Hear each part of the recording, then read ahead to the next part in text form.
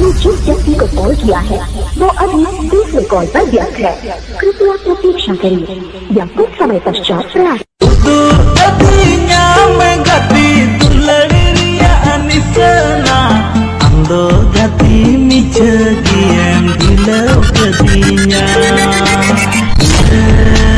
सकाम बहु जवालिका दुलड़ अलग जाई